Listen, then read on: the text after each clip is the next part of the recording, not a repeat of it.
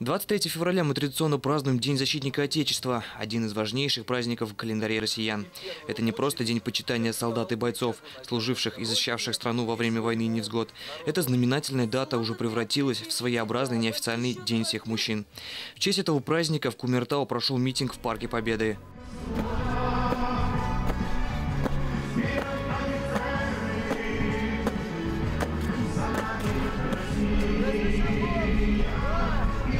День защитника Отечества – праздник настоящих мужчин, которые отдали себя служению Родине. Благодаря им мы сейчас живем под чистым мирным небом. В Великой Отечественной войне и афганских войнах они отставили свободу. Все, кто правды служил и служит Отечеству, снова собрались в Парке Победы, чтобы поздравить друг друга, отдать дань уважению живым и почтить память павших. В этот день мы чествуем тех, кто несет ратную службу, обеспечивает суверенитет и безопасность нашей страны. С гордостью вспоминаем наших соотечественников, которые бесстрашно противостояли любым посягательствам на независимость нашей Родины. Даже в мирное время армия всегда должна быть готова к защите своего Отечества, говорит Рамиль Наилевич.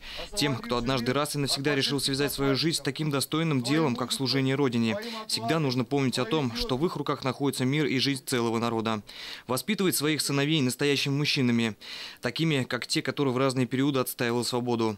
Глава администрации городского округа Борис Беляев в своем выступлении отметил, что Кумертау вносит российской армии огромный вклад в оснащение боевой техники.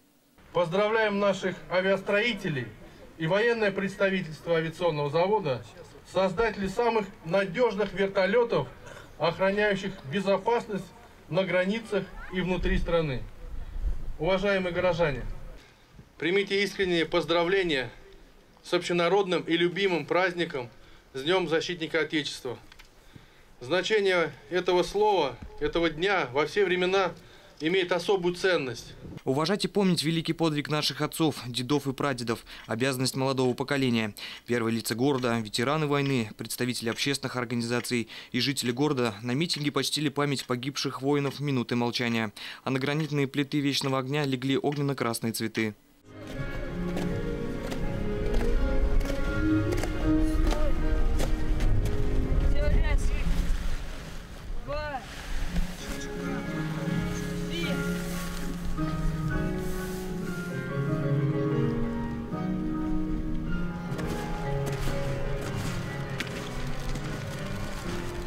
Дорогие наши мужчины, от лица всех женщин и от себя лично поздравляю вас с прекрасным праздником, Днем Защитника Отечества. Хочется пожелать вам здоровья, счастья, любви, успехов, улыбок. Пусть вас женщины любят всегда и поддерживают, а вы поддерживаете нас.